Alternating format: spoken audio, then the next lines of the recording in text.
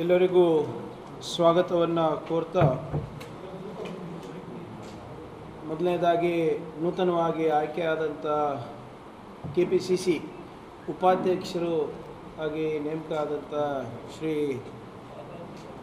ಸುಭಾಷ್ ರಾಠೋಡ್ ಅವರಿಗೆ ಕಾರ್ಯದರ್ಶಿಗಳಾದಂಥ ಶ್ರೀ ರಮೇಶ್ ಮರಗೋಳ್ ಅವರಿಗೆ, ಎಲ್ಲರ ವತಿಯಿಂದ ಅವರಿಗೆ ಅಭಿನಂದನೆಯನ್ನು ಸಲ್ಲಿಸ್ತಾ ಹಾಗೂ ಈ ಪತ್ರಿಕಾಗೋಷ್ಠಿಗೆ ಆಗಮನಿಸಿದಂಥ ಎಲ್ಲ ನಮ್ಮ ಹಿರಿಯರು ಹಾಗೂ ನಮ್ಮ ಮಾಧ್ಯಮ ಸ್ನೇಹಿತರಿಗೆ ಸ್ವಾಗತವನ್ನು ಕೋರ್ತಾ ಎಂದಿನಂಗೆ ತಮ್ಮ ಸಹಕಾರ ಮತ್ತು ಸಹನೆಯನ್ನು ಕೇಳ್ತಾ ಇದ್ದೀನಿ. ಈ ತುರ್ತು ಸಭೆಗೆ ತಾವು ಆಗಮನಿಸೋದಕ್ಕೆ ತಮಗೂ ಕೂಡ ನಾನು ಧನ್ಯವಾದಗಳನ್ನು ನಾನು ಹೇಳಲಿಕ್ಕೆ ನಾನು ಬಯಸ್ತಾ ಇದ್ದೀನಿ. ಬಂಧುಗಳೇ, ತಮ್ಗೆ ಗೊತ್ತಿರೋ ಹಾಗೆ ಹಿಟ್ಲರಿನ ಜರ್ಮನಿನಲ್ಲಿ ಒಂದು ಮಿನಿಸ್ಟ್ರಿ ಇತ್ತು. ಒಂದು ಇಲಾಖೆನೇ ಇತ್ತು. ಆ ಮಿನಿಸ್ಟರ್, ಮಿನಿಸ್ಟ್ರಿಯ ಹೆಸರೇನಂದರೆ ಅಂದರೆ ministry of propaganda and public enlightenment. Ministry of propaganda and public enlightenment ಅಂತ. ಅದಕ್ಕೆ ಮಿನಿಸ್ಟರು ಯೋಸೆಫ್ ಗೊಬೆಲ್ಸ್ ಅಂತ ಇದೆ ಅವನ ಕೆಲಸ ಏನಂದರೆ, ಆ ಗೊಬೆಲ್ಸ್ ಕೆಲಸ ಏನಿತ್ತಪ್ಪ ಅಂದರೆ, ಅವರ ನಾಯಕರನ್ನು ಒಂದು ಸೂಪರ್ ಹೀರೋ ಥರ ಬಿಂಬಿಸೋದು. ಆ ನಾಯಕತ್ವ ಬಿಟ್ಟರೆ ಏನೂ ಇಲ್ಲ, ಆಲ್ಮೋಸ್ಟ್ ಏನು ದೇವ್ರ ಮಟ್ಟಕ್ಕೆ. ಸಾಕ್ಷಾತ್ ದೇವರೇ ಇದ್ದಂಗೆ ಬಿಂಬಿಸೋದು. ಸಣ್ಣ ಕೆಲಸ ಮಾಡಿದ್ರೂ ಭಾಳ ದೊಡ್ಡದಿದೆ, ಭಾಳ ದೊಡ್ಡ ಸಾಧನೆ ಇದ್ದಂಗೆ ಬಿಂಬಿಸೋದು. ಏನು ಮಾಡಿಲ್ಲ ಅಂದ್ರೂ ಮಾಡಿದ್ದೀನಿ ಅಂತ ಹೇಳ್ಕೊಂಡು ಓಡಾಡ್ಬಿಟ್ಟು ಮಾಡೋದು. ಅವ್ರ ಕೆಲಸ ಏನಿತ್ತಂದರೆ ಗೊಬೆಲ್ಸ್ದು ಈ ministry of propaganda and public enlightenment ಹೆಸರು ಎಷ್ಟು ಚೆನ್ನಾಗಿಟ್ಟಿದ್ದಾರೆ ಸರ್. ಪಬ್ಲಿಕ್ ಎನ್ವಾಯ್ ಎನ್ಲೈಟನ್ಮೆಂಟ್ ಅಂದರೆ ಪಬ್ಲಿಕ್ ಪ್ರಜೆಗಳಿಗೆ ಏನು ಜ್ಞಾನೋದಯ ಮಾಡಿಸೋದು? ಅದು ನೀವು ಹೇಳ್ಕೊಳಿದ್ದು. ನಾನು ಲೈವ್ನಲ್ಲಿದ್ದೀನಿ ನಾನು ಲೈವ್ನಲ್ಲಿದ್ದೀನಿ ನಾನು ಹೇಳೋಕ್ಕಾಗಲ್ಲ ಅದು. ಅದರಿಂದ ಅವನ ಕೆಲಸ ಏನಿತ್ತಂದರೆ ಗೊಬೆಲ್ಸ್ದು ಶಾರ್ಟ್ ಫಿಲಿಮ್ಸ್ ಕ್ರಿಯೇಟ್ ಮಾಡೋದು ಡಾಕ್ಯುಮೆಂಟ್ರಿಗಳು ಮಾಡೋದು ರೇಡಿಯೋವನ್ನು ಕಂಟ್ರೋಲ್ ಮಾಡೋದು ಪ್ರಿಂಟ್ ಮೀಡಿಯಾನ ಕಂಟ್ರೋಲ್ ಮಾಡೋದು. ಒಟ್ಟಾರೆ ಏನು ಪ್ರಿಂಟಲ್ಲಿ ಬರಬೇಕು ಟಿ ವಿನಲ್ಲಿ ಹೋಗಬೇಕು, ರೇಡಿಯೋನಲ್ಲಿ ಹೋಗಬೇಕು, ಎಲ್ಲನೂ ಕೂಡ ವ್ಯವಸ್ಥಿತವಾಗಿ ಇವ್ರು ಕಂಟ್ರೋಲ್ ಮಾಡ್ತಾಯಿದ್ರು ಅದು ಆಮೇಶ ಕೊಟ್ಟನ ಮಾಡ್ತಾಯಿದ್ರು ಅಥವಾ ದಬ್ಬಾಳಿಕೆಯಿಂದನ ಮಾಡ್ತಾಯಿದ್ರು ಹೊಡೆದಿ ಬಡ್ದಿಯನ್ನು ಮಾಡ್ತಾಯಿದ್ರು ಭಾಳ ಸಿಂಪಲ್ ಟ್ಯಾಕ್ಟಿಕ್ ಇತ್ತು ಅವ್ರದ್ದು ನ್ಯಾಟ್ಜಿ ಜರ್ಮನಿದು ಅವ್ರ ಟ್ಯಾಕ್ಟಿಕ್ ಏನಂದರೆ, ಯಾರ ಕಡೆಯಿಂದನೋ ಒಂದು ಸುಳ್ಳು ಹೇಳ್ಸೋದು. ಏನೋ ಏನೋ ಒಂದು ಸುಳ್ಳು. ಅವಾಗಿನ ಕಾಲಕ್ಕೆ ಲೇಟೆಸ್ಟ್ ಅಸ್ಯೂಮ್ ನಾವು ಏನು ಹಿಟ್ಲರು ಜ, ರಷ್ಯಾ ಕಾನ್ಕರ್ ಮಾಡಿದ್ದಾರೆ ಅಂತ. ಏನೋ ಒಂದು ಸುಳ್ಳು. ಆ ಸುಳ್ಳನ್ನು ಫಸ್ಟು ಪಾರ್ಟಿ ಕೇಡರ್ಸ್ನಲ್ಲಿ ಅವರ ಕಾರ್ಯಕರ್ತರಲ್ಲಿ ಹಬ್ಸೋದು. ಅದಾದಮೇಲೆ ಅದೇ ಸುಳ್ಳನ್ನು ನಾಯಕರು, ಅವ್ರ ಲೀಡರ್ಸ್ ಏನಿರ್ತಾರೆ, ಅದು ಸ್ಟೇಜ್ ಮೇಲೆ ಭಾಷಣದಲ್ಲಿ ಹೇಳೋದು. ಪದೇ ಪದೇ ಹೇಳೋದು. ಎಲ್ಲ ವೇದಿಕೆಯಲ್ಲೂ ಕೂಡ ಆ ಸುಳ್ಳನ್ನು ರಿಪೀಟ್ ಮಾಡಿಸ್ತಾ ಇರೋದು. ಅವ್ರು ಹೇಳಿದ್ದನ್ನು ಸಹಜವಾಗಿ ಪ್ರಿಂಟ್ ಮೀಡಿಯಾ ಎಲೆಕ್ಟ್ರಾನಿಕ್ ಮೀಡಿಯಾ ತಗೊಳೋದು. ಮೇನ್ ಸ್ಟ್ರೀಮ್ ನ್ಯೂಸ್ ಆಗಿಬಿಡುತ್ತೆ. ಯಾವುದು? ಪಾರ್ಟಿ ಲೆವೆಲಲ್ಲಿ ಸುಳ್ಳು ಆಗುತ್ತೆ, ಅದು ಈಗ ಮೇನ್ ಸ್ಟ್ರೀಮ್ ಮೀಡಿಯಾಗೆ ಬಂದ್ಬಿಡ್ತು. ಇದನ್ನು ಸಾವಿರ ಸರಿ ಹೇಳ್ತಾ ಹೋಗ್ತಾ ಇರ್ತಿದ್ರು ಅವರು. ಸಾವಿರ ಸರಿ. ಅವಾಗ ಏನಾಗ್ತಾ ಇತ್ತು ಆ ಸಾವಿರ ಸರಿ ಸುಳ್ಳು ಹೇಳಿ ಹೇಳಿ ಹೇಳಿ ಜನರಲ್ಲಿ ಏನಂತ ಒಂದು ಸೈಕಲಾಜಿಕಲ್ ಬಂದು ಏ, ಖರೆ ಇರ್ಬೋದು ಅಥವಾ ಖರೆ ಇದೆ, ನಿಜಾನೇ ಇದೆ ಅಂತ. ಇದು ಯಾಕೆ ಹೇಳ್ತಾ ಇದ್ದೀನಿ ಅಂದರೆ, ನಿನ್ನೆ ನಮ್ಮ ಕರ್ನಾಟಕಕ್ಕೆ ನಮ್ಮ ರಾಷ್ಟ್ರದ ಗೊಬೆಲ್ಸ್ ಬಂದಿದ್ರು ಸುಳ್ಳಿನ ಸರ್ದಾರ, minister of misinformation, minister of misinformation Shri Amit Shah ಅವರು ನಮ್ಮ ರಾಜ್ಯಕ್ಕೆ ಬಂದರು.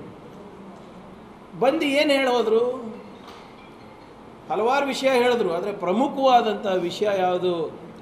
ಔಟ್ರೈಟ್ ಮಿಸ್ಇನ್ಫಾರ್ಮೇಷನ್ ಇದೆ ಔಟ್ರೈಟ್ ಫೇಕ್ ನ್ಯೂಸ್ ಇದೆ ಔಟ್ರೈಟ್ ಸುಳ್ಳಿದೆ. ಕರ್ನಾಟಕ ರಾಜ್ಯದಿಂದ ಬರ ಪರಿಹಾರಕ್ಕೆ ಯಾವುದೇ ರೀತಿಯಾದಂಥ ಮೆಮೊರ್ಯಾಂಡಮ್ ಇರ್ಬೋದು, ಬೇಡಿಕೆ ಇರ್ಬೋದು, ನಮ್ಮ ಹತ್ರ ಸರಿಯಾದ ಸರಿಯಾದ ಸಮಯದಲ್ಲಿ ಬಂದಿಲ್ಲ. ಮೂರು ತಿಂಗಳು ವಿಳಂಬ ಆಗಿ ಬಂದಿದೆ. ಅದಕ್ಕೆ ನಾವು ಇವಾಗ ಏನು ಮಾಡೋಕ್ಕಾಗ್ತಾ ಇಲ್ಲ ಅಂತ ಅವರು ಘಂಟಾಘೋಷವಾಗಿ ಸಾವಿರಾರು ಜನರ ಮುಂದೆ ಸುಳ್ಳನ್ನಾಡಿದ್ದಾರೆ. ನಾಚಿಕೆ ಬರಬೇಕು. ಒಂದು ರಾಷ್ಟ್ರದ ಗೃಹ ಸಚಿವರಾಗಿ, ಎನ್ ಡಿ ಆರ್ ಎಫಿನ ಅಧ್ಯಕ್ಷರಾಗಿ ಯಾರು ಬರ ಪರಿಹಾರ ಕೊಡಬೇಕಾಗಿದೆ, ಆ ವ್ಯಕ್ತಿ ಕರ್ನಾಟಕಕ್ಕೆ ಬಂದು ರಾಜ್ಯ ಸರ್ಕಾರದ ವಿರುದ್ಧ ಸುಳ್ಳನ್ನು ಹೇಳ್ತಾರೆ. ಹೌದಪ್ಪ, ನಿಜ ಹೇಳಿದ್ರೆ ನಾವು ಒಪ್ಕೋತಾ ಇದ್ವಿ. ಇತ್ತ ಸುಳ್ಳು ಬಹುಶಃ ಗೊಬೆಲ್ಸ್ ಆದಮೇಲೆ ಯಾರಾನ ಹೇಳ್ಬೋದು ಅಂದರೆ ಇವರೇ. ಈಗ ನಿಮಗೆ ಒಂದು ಎರಡು ಮೂರು ಅಂಶಗಳನ್ನು ಹೇಳ್ತೀನಿ. ಇದು ಡ್ರಾಟ್ ಮ್ಯಾನ್ಯುವಲಿನ ಎಕ್ಸ್ಟ್ರಾಕ್ಟ್. ಡ್ರಾಟ್ ಬಂದಾಗ ಅಂದರೆ ಬರ ಬಂದಾಗ ಒಂದು ಬರದ ಕೈಪಿಡಿಯನ್ನು ನಾವು ಅನುಸರಿಸ್ಬೇಕಾಗ ಅನುಷ್ಠಾನಕ್ಕೆ ತರಬೇಕಾಗ್ತದೆ. ಎಲ್ಲರೂ ಅದೇ ಫಾಲೋ ಅಪ್ ಮಾಡಬೇಕು. ನಾವು ಯು ಪಿ ಎನಲ್ಲಿದ್ದಾಗ ಇದು ಮಾಡಿದ್ದು ಎರಡು ಸಾವಿರದ ಇಪ್ಪತ್ತರಲ್ಲಿ ಮತ್ತೊಮ್ಮೆ ಇದನ್ನು ಪರಿಷ್ಕರಣೆ ಮಾಡಿದ್ದಾರೆ. ಸೊ ಡಿಕ್ಲರೇಷನ್ ಆಫ್ ಡ್ರಾಟ್ ಅಂದರೆ ಬರ ಯಾವಾಗ ಘೋಷಣೆ ಆಗುತ್ತೆ ಅಂದರೆ, ಹೇಗೆ ಘೋಷಣೆ ಆಗುತ್ತೆ ಅಂದರೆ state government should declare drought through a notification and validity of such notification will not be more than six months unless denotified earlier state governments are eligible for N D R F assistance as per the extent M H A guidelines only in case of severe drought and hence a memorandum should be submitted to central government for financial assistance from NDRF for areas under severe drought category. If SDRF is not enough to meet drought relief, the states may submit a memorandum for assistance under NDRF even if the drought is of moderate category. ಭಾಳ ಸ್ಪಷ್ಟವಾಗಿ ಇಲ್ಲಿ ಹೇಳ್ತಾ ಇದ್ದಾರೆ ನಾವು ಬರವನ್ನು ಘೋಷಣೆ ಮಾಡಬೇಕಂದ್ರೆ ಒಂದು ನೋಟಿಫಿಕೇಶನ್ ಮುಖಾಂತರ ನಾವು ಘೋಷಣೆ ಮಾಡಬೇಕಾಗುತ್ತೆ ನಮಗೆ ಎನ್ ಡಿ ಆರ್ ಎಫ್ ಮತ್ತು ಬೇರೆ ಕಡೆಯಿಂದ ಏನಾದರೂ ಅನುದಾನ ಬೇಕಂದರೆ M H A ministry of home ಅಫೇರ್ಸಿಂದ ಬೇಕಾ ಗೈಡ್ಲೈನ್ಸ್ ಪ್ರಕಾರ ಬೇಕಾಗಿದ್ದರೆ ನಾವು ಅದನ್ನು ಘೋಷಣೆ ಮಾಡಿ ಎಸ್ ಡಿ ಆರ್ ಎಫ್ನಲ್ಲಿ ಏನಾದರೂ, ಅಂದರೆ ಸ್ಟೇಟ್ ಡಿಸಾಸ್ಟರ್ ರಿಲೀಫ್ನಲ್ಲಿ ಏನಾದರೂ ಫಂಡ್ಸ್ ಇದ್ದರೆ ಅದರಿಂದ ಉಪಯೋಗ ಮಾಡಬೇಕು. ಅಶ್ ಅಕಸ್ಮಾತ್ ಅದಕ್ಕಿಂತ ಹೆಚ್ಚು ಬೇಕಂದರೆ ಎನ್ ಡಿ ಆರ್ ಎಫಿಗೆ ಬರಿಬೇಕು ಅಂತ ಭಾಳ ಸ್ಪಷ್ಟವಾಗಿ ಹೇಳ್ತಾರೆ. ಅದಕ್ಕೆ ಯಾವ ಟೈಮ್ ಲೈನ್ನಲ್ಲಿ ನಾವು ಕೊಡಬೇಕು? ಯಾವ ಕಾಲಮಿತಿನಲ್ಲಿ ಕೊಡಬೇಕು ಅಂತ ಕೂಡ ಭಾಳ ಸ್ಪೆಸಿಫಿಕ್ ಆಗಿ ಇದೆ ಅದರಲ್ಲಿ. States will notify kharif drought by thirty first October and rabi drought ಮುಂಗಾರು, ಹಿಂಗಾರು ಎರಡಕ್ಕೂ ಡೇಟ್ ಇದೆ. ಖರೀಫ್ದು ಅಕ್ಟೋಬರ್ ತರ್ಟಿ ಫಸ್ಟ್ ಇದು ಭಾಳ ಗಮನಿಸಬೇಕಾಗಿ October thirty first and rabi by thirty first March the memorandum for assistance will be submitted to D A C and F W within a week of declaration in case of drought of severe in nature D A C ಅಂದರೆ department of agriculture and farmers welfare D A and F W ಅಂದರೆ department of agriculture and farmers welfare The Department of Agriculture and Farmer Welfare will constitute and dispatch interministerial central team IMCT to the drought affected area within a week of the receipt of memorandum from the state government. The IMCT will submit a report for the consideration of the cent- central government within seven days of all relevant information provided by state government following the visit of the drought affected areas. The central government will take final decisions on the assistance to state from NDRF within a month of the receipt of the IMCT report.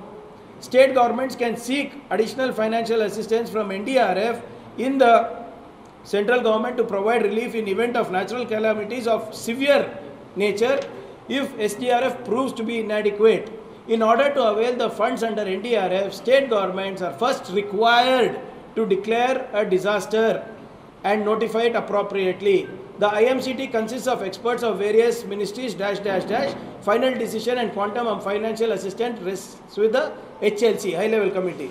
ಇದರಲ್ಲಿ ಏನು ಹೇಳ್ತಾ ಇದ್ದಾರೆ ಅಂದರೆ October ಮೂವತ್ತೊಂದು ಒಳಗಡೆ ನೀವು first ಬರ ಘೋಷಣೆ ಮಾಡಬೇಕು ಬರ ಘೋಷಣೆ ಮಾಡಾದ ಮೇಲೆ ನೀವು ನಮಗೆ ಕಳಿಸ್ಕೊಡ್ಬೇಕು. ಯಾವುದಕ್ಕೆ? Department of agriculture and farmers welfare ಅಲ್ಲಿ ಕಳಿಸಾದ ಮೇಲೆ ಅವರು ಇಂಟರ್ ಮಿನಿಸ್ಟ್ರೇರಿಯಲ್ ಸೆಂಟ್ರಲ್ ಟೀಮ್ ಅಂತ ಒಂದು ಟೀಮ್ ಇರುತ್ತೆ. ಅದಕ್ಕೆ ಅವರು ಫಾರ್ವರ್ಡ್ ಮಾಡಿ ಅವರು ಏಳು ದಿನದ ಒಳಗಡೆ ಈ ಲೆಟರ್ ಸಿಕ್ಕಾದ ಮೇಲೆ ಏಳು ದಿನದ ಒಳಗಡೆ ಅವರು ಸಮೀಕ್ಷೆ ಮಾಡಬೇಕು. ಇಲ್ಲಿ ಬಂದು ಸಮೀಕ್ಷೆ ಮಾಡಬೇಕು. ರಾಜ್ಯದಕ್ಕೆ. ಅದು ಆದಮೇಲೆ ಆ ಸಮೀಕ್ಷೆ ವರದಿ ಪ್ರಕಾರ ಒಂದು ತಿಂಗಳ ಒಳಗಡೆ ಈ I M C T report ಬಂದ ಮೇಲೆ ಒಂದು ತಿಂಗಳ ಒಳಗಡೆ national disaster response fund, N D R A fund which comes under honourable Amit Shah ji ಅವರು ಮೀಟಿಂಗ್ ಕೂತ್ಬಿಟ್ಟು ಹೈ ಲೆವೆಲ್ ಕಮಿಟಿ ಮೀಟಿಂಗ್ ಕೂತ್ಬಿಟ್ಟು ಇಲ್ಲಿ ಡಿಸೈಡ್ ಮಾಡಬೇಕು ಅಂದ್ಬಿಟ್ಟು drought manual which has been reviewed by the Modi government ಇದು ನನ್ನದಲ್ಲ, ಕೇಂದ್ರ ಸರ್ಕಾರದ ಮಾನದಂಡ. ಈಗ ನಾವೇನು ಮಾಡಿದ್ವಿ? ಕರ್ನಾಟಕ ಸರ್ಕಾರ, ಬಹುಶಃ ಹಿಂದಿನ ಸರ್ಕಾರದಲ್ಲಿ ಕ್ಯಾಬಿನೆಟ್ ಸಬ್ ಕಮಿಟಿನೇ ಇರಲಿಲ್ಲ ರೀ. ದಯವಿಟ್ಟು ಅದನ್ನು ಗಮನಿಸಬೇಕು.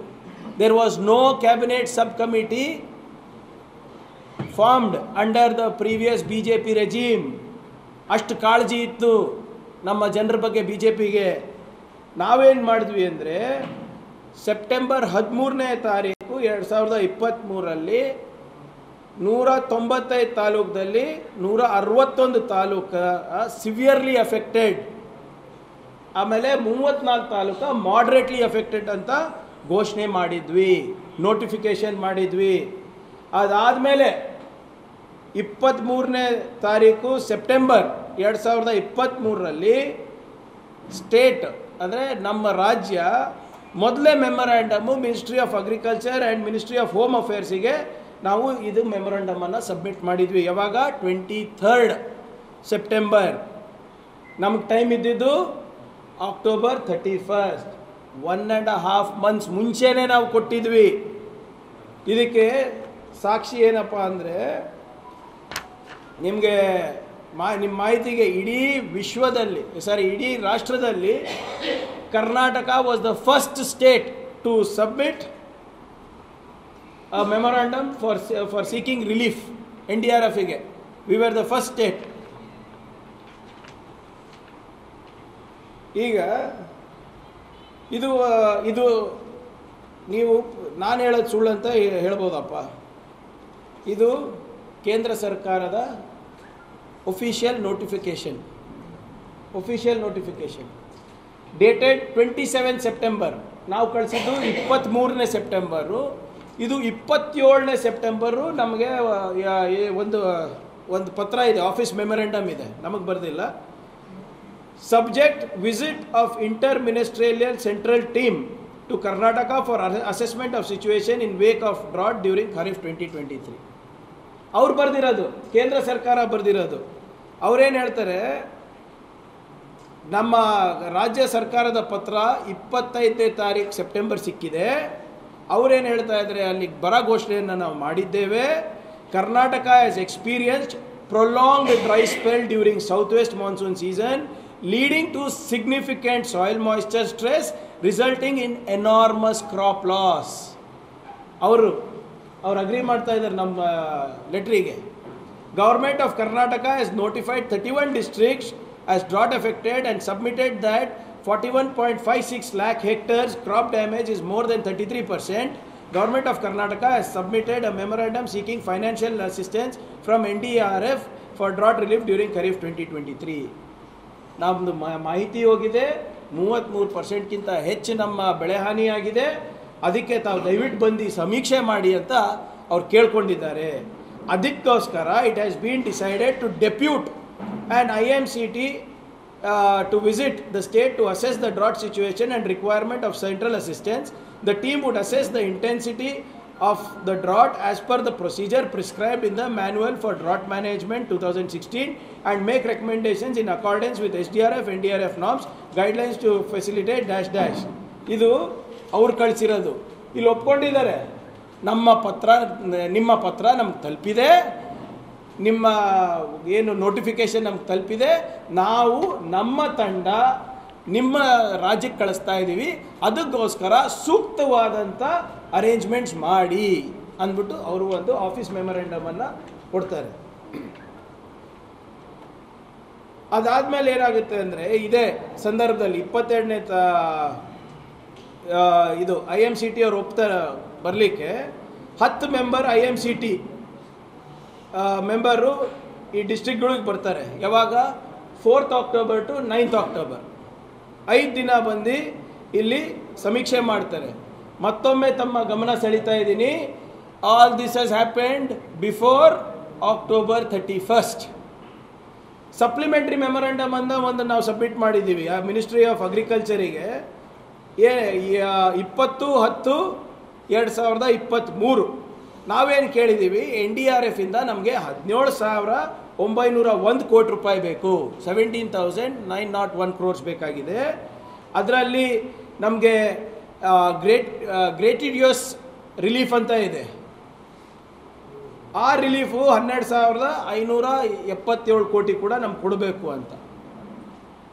ಎರಡೂ ಕೂಡ ಸೇರಿ ಹದಿನೇಳು ಸಾವಿರದ ಒಂಬೈನೂರ ಒಂದು ಕೋಟಿ ಅಂತ.